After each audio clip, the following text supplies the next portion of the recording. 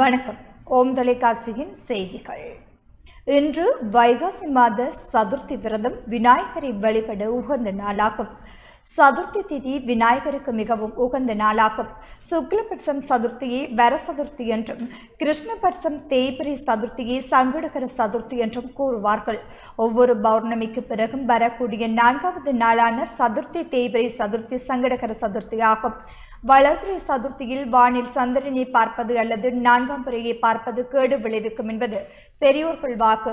ஆனால் பௌர்ணமிக்கு பிறகு வரக்கூடிய தேய்பிர சதுர்த்தி மிகவும் சிறப்பு வாய்ந்தது. இதுவே சங்கடகர சதுர்த்தி ஆகும் விநாயகப் பெருமானை தேய்பிரை சதுர்த்தியில் வழிபாடு செய்வது மிக பெரும் நற்பலன்களை தரக்கூடியது.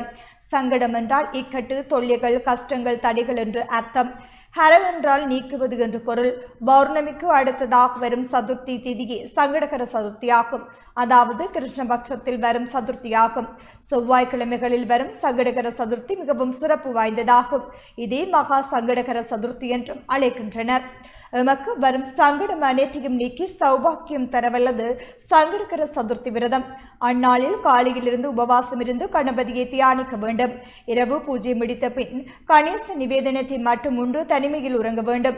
சங்கடகர சதுர்த்தி விரதத்தை மாசி மாதம் கிருஷ்ணபட்சம் செவ்வாய்க்கிழமையோடு வரும் சதுர்த்தி திதியில் தொடங்கி ஓராண்டு விதிப்படி விரதம் அனுஷ்டித்தால் எல்லா துன்பங்களும் நீங்கும். செல்வம் செல்வாக்கு கிடைக்கும். இந்த விரதத்தை விநாயகர் சதுர்த்திக்கு பிறகு வரும் சங்கடகர சதுர்த்தியிலிருந்து மகா சங்கடகர சதுர்த்தி வரை உறுதியுடன் கடைபிடித்தால் எல்லா நலன்களும் கிடைக்கும். இவ்விரதத்தை கடைபிடிப்பதால் நீண்ட நாட்களாக தீராமல் உள்ள நோய் தீரும். வாழ்க்கையில் தொடர்ந்து பல வகை துன்பங்களுக்கு உள்ளாகின்றவர்கள் நிலையான சந்தோஷத்தை அடைய முடியும்.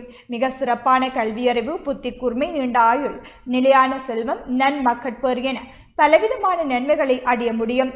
சனி தோஷத்துக்குள்ளாகின்றவர்கள் இவ்விரதத்தை அனுஷ்டித்தால் சனியின் தாக்கம் பெரும்பகுதி குறையும்.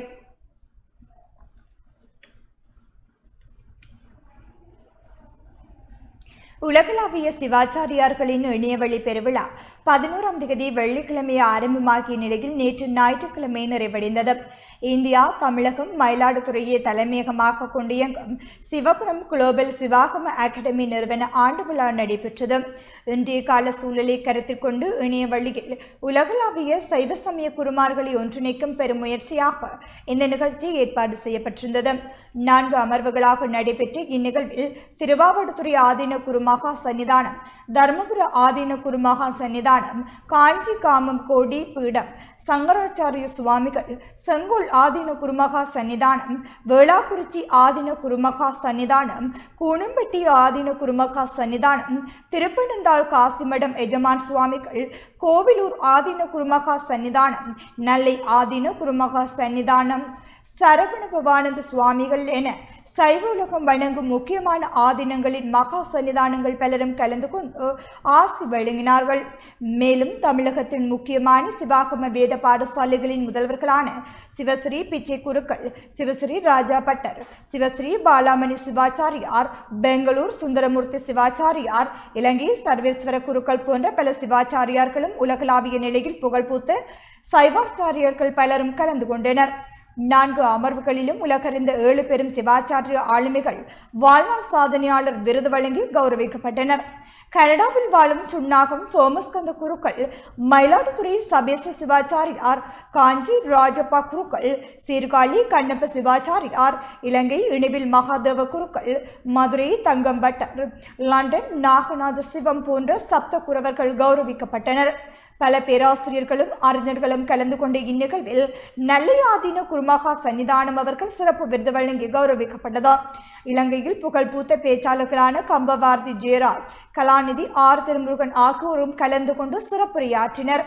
சைவ சமய குருமரபில் பிரகாசிக்கும் இலங்கையை சேர்ந்த பல குருமார்களும் இந்நிகழ்வில் சிறப்புரை தலைமையுரை வாழ்த்துரை தொடக்க உரை முதலியவற்றை நிகழ்த்தினர்.